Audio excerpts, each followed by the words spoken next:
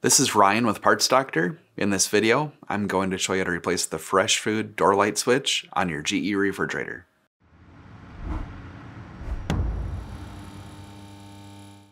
The light switches send a signal to the main control board to tell the lights to turn on or off. If the light switch fails, it can cause the lights to not turn on or off, or it can cause the door alarm to alert.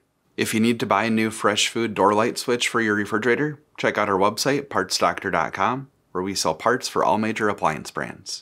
Since we will be working on the refrigerator's electrical components, disconnect power to the refrigerator. The fresh food door light switch is located on top of the refrigerator case beneath the middle cover assembly. Using a quarter inch nut driver, remove the screws holding the left and right hinge end caps in place. Then slide them out and away from the fridge.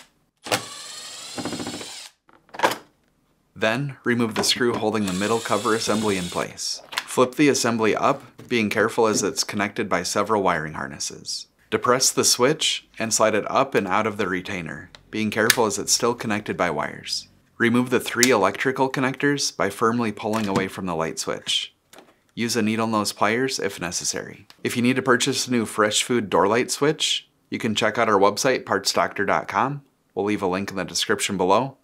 You want to make sure that you're searching with the model number from the tag on your refrigerator to make sure you get the correct part. To install, align the electrical connectors and press until they are firmly seated in place.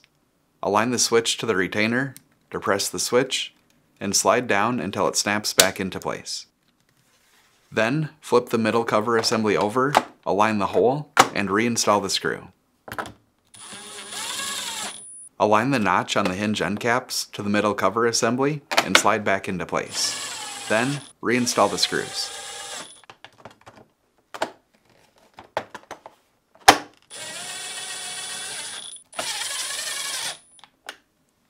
That's it for this video. If you learned something new, hit that like button. And if you enjoy fixing things, want to see more videos like this or these, please consider subscribing.